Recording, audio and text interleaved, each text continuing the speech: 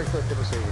Bueno, ayer se llevó un procedimiento en conjunto con la Fiscalía y la Policía de Investigaciones, particularmente eh, con la Prefectura Sur y la Brico, eh, a raíz de tres investigaciones previas que se mantenían, luego de una serie de diligencias investigativas se obtuvo la autorización de entrada y registro a 53 domicilios en la población La Legua, la cual se hizo efectiva eh, de manera simultánea el día de ayer aproximadamente a partir de las 16.30 horas. ¿Esto se hace tomando en cuenta los episodios de violencia y, enfrentamientos armados del fin de semana o está dentro o enmarcado en un plan anterior? Como le indiqué, estas son investigaciones previas, preliminares, con las cuales se contaban las autorizaciones, son en definitiva investigaciones de largo aliento. Para que la gente lo entienda, ¿cuál es el panorama que se está viviendo en estos momentos en la lengua? ¿Cuáles son los grupos que se enfrentan? ¿Cuál es la situación en comparación eh, a otros periodos? Porque ha quedado en la retina la violencia y los enfrentamientos durante el de semana? Bueno, la verdad que a nosotros nos han dado cuenta de determinados delitos, los cuales hemos estado investigando y algunos de ellos terminaron con los eh, eh entradas y registros eh, del día de ayer. La gente de la Legua se puede sentir más segura el día de hoy porque lo que reclama es que no hay control policial del barrio, hay disparos de los cuales pueden ser ellos mismos malheridos.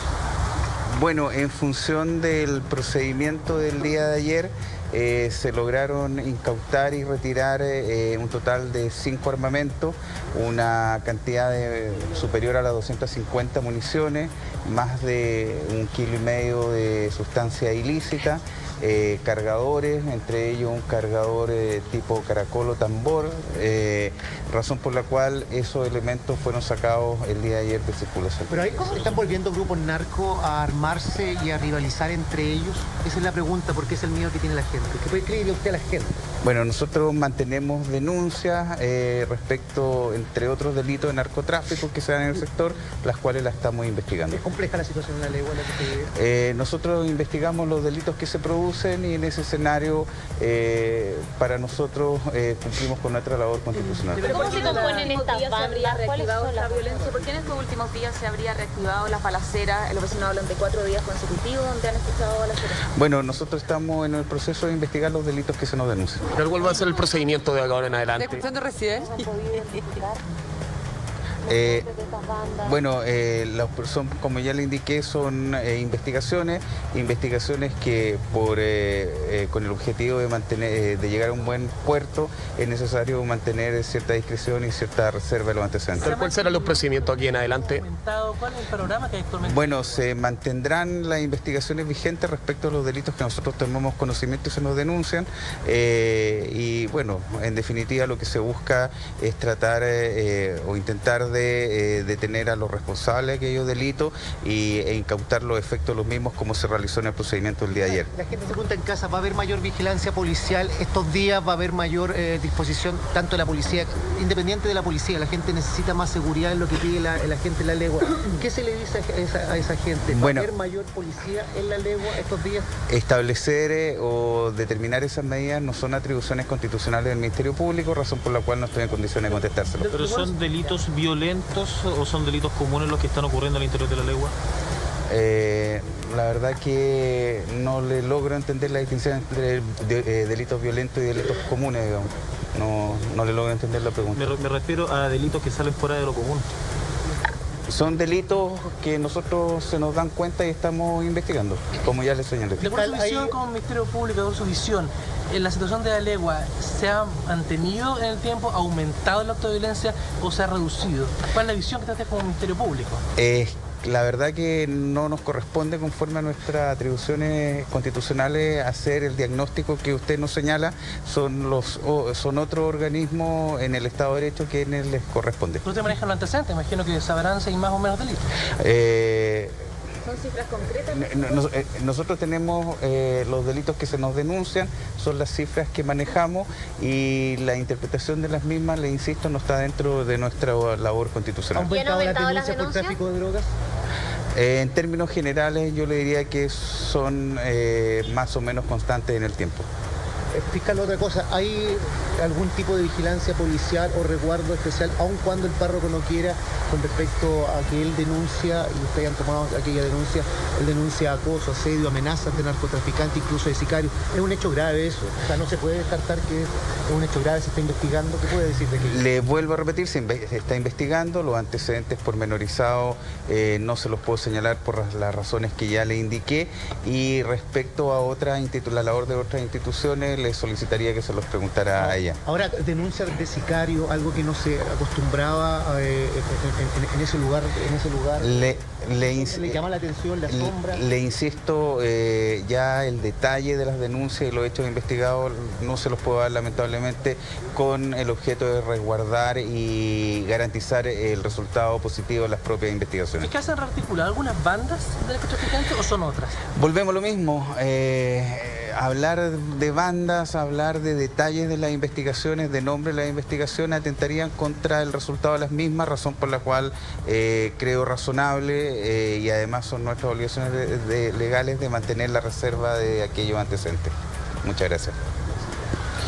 Ahí estaba el fiscal Cristian Galdames dando esta conferencia de prensa a partir de lo que pasó ayer en la legua de emergencia con este operativo en conjunto del Ministerio Co- Público con la PDI, en donde se detuvieron a cerca de siete personas, se decomisaron armas, se decomisó droga y eh, ingresaron a 53 domicilios. Es bien poca la información que puede entregar el fiscal eh, porque esta investigación todavía continúa en curso. Es más, uno de los delitos que más llama la atención eh, de las denuncias que hay es el tema de los sicarios, eh, que es un delito que en nuestro país no estamos habituados, que se han hablado, que en el norte... en- puntualmente en, en una ciudad estarían llegando y que también en la legua emergencia podría aparecer esto, pero no puede entregar más detalles. Eso fue lo que dijo el fiscal. Escuchemos lo que tiene que decir la policía de investigaciones del allanamiento de ayer.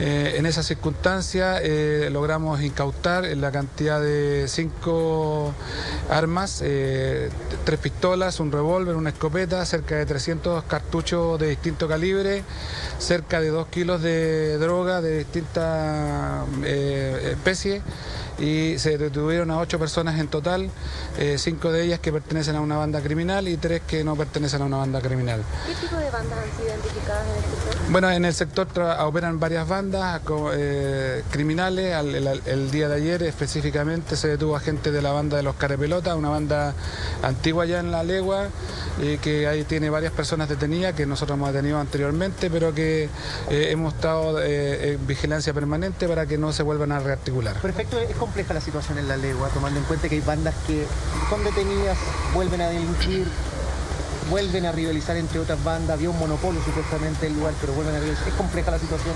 Bueno, en, en- en definitiva, eh, siempre las situaciones donde hay bandas criminales son complejas, pero nosotros en conjunto con el Ministerio Público estamos haciendo todos los esfuerzos para eh, atacar esta situación y darle tranquilidad a la gente de, eh, de bien que vive en el, en el sector del Legua. Con la incautación de estas armas la gente puede estar tranquila de que no van a haber nuevas balaceras. Se lo pregunto de esa manera porque la gente siente de que está, que no hay seguridad en el barrio, está desprotegida. ¿Qué se le puede decir a esa gente? Bueno, se le puede decir que nosotros vamos a seguir trabajando, eh, no, no vamos a dejar ningún minuto de trabajar para darle tranquilidad a estas personas. De hecho, esta es la segunda intervención masiva que se hace con en conjunto la Prefectura Metropolitana Sur, la Fiscalía Metropolitana y la Brigada contra el Crimen Organizado.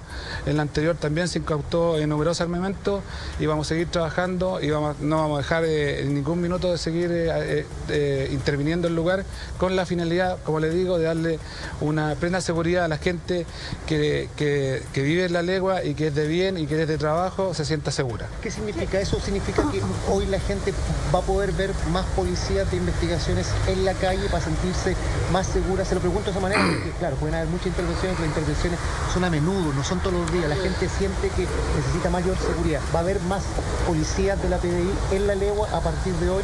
Bueno, usted comprenderá que nuestra labor principalmente es investigativa. Nosotros no hacemos, nuestra labor principal es esa, y por lo tanto eh, nosotros a veces estamos en el lugar, pero pasamos desapercibidos, no se nos nota, pero estos son los frutos. Los frutos son de investigaciones de largo aliento, de dos, tres meses o más, que es lo que en definitiva llegamos a incautar armamento. Eso es nuestro, nuestro objetivo principal, incautar armamento, incautar droga, detener gente que está eh, haciéndole mal a la población de la legua. Sí, pero para investigar se requiere, obviamente, va a haber entonces más policías, aun cuando no se vean en la legua a partir de Siempre hay policías de la, de la Prefectura Sur trabajando en el lugar. Llama la, atención, de que sean solamente cinco los armamentos que se retiran, siendo que fueron más de 50 casas las que se allanaron. Es un número bastante llamativo por lo La verdad es que muchas veces eh, eh, incautar cinco o seis armamentos es, positivo, producto de que en definitiva eh, la gente, esta gente mueve los armamentos, es complejo poder incautarlos y por eso que en conjunto con el Ministerio Público se hacen un montón de estrategias y vamos a seguir haciendo más estrategias con la finalidad de tratar de retirar todo el armamento posible de la población de la legua. Según la investigación que ustedes llevan a cabo, ¿qué relación existe con estos detenidos de la banda de los cara de pelota con los galves y los cochinos que son quienes habrían iniciado esta balacera y estas riñas constantes? Bueno, la verdad es que son bandas rivales y en definitiva el, hecho de atacar una banda definitivamente eh, provoca que, eh, no se produzca más enfrentamientos entre las bandas. Se habla de la presencia de sicarios contratados por estas bandas y también de presencia de muchos sicarios que son extranjeros. ¿Qué manejan ustedes antecedentes al respecto? Bueno, nosotros manejamos antecedentes, pero por razones obvias, como le dijo el fiscal, yo no me puedo pronunciar con respecto a eso, porque son eh, situaciones que se están investigando. De acuerdo a su visión, ¿qué fue lo que ocurrió el fin de semana entonces? ¿Qué fue ese enfrentamiento? ¿Fue por territorio? ¿Fueron demostración de poder? Bueno, como ustedes saben, como lo dijo un periodista, esta, esta situación partió por un tema de lío eh, amoroso y a raíz de esto se producen estas bandas, estos enfrentamientos entre bandas.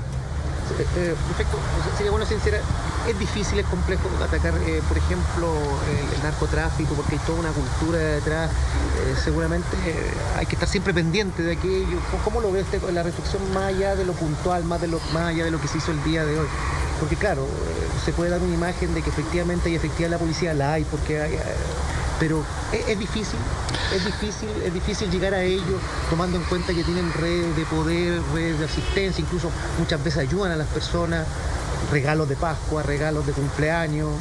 Es difícil. la verdad es que siempre es complejo trabajar este tipo de delitos, es muy complejo, pero nosotros no vamos a escatimar ningún esfuerzo para poder eh, eh, sacar estas bandas de, delictuales de la población.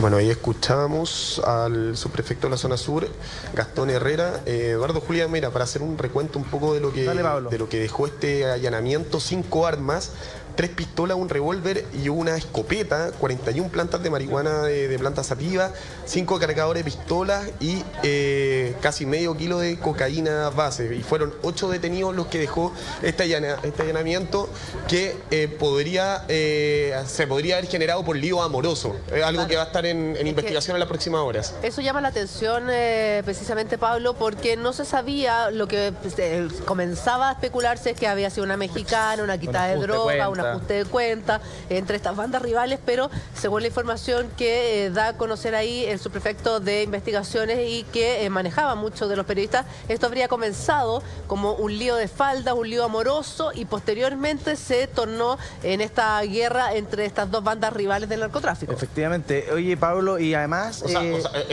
sí, adelante.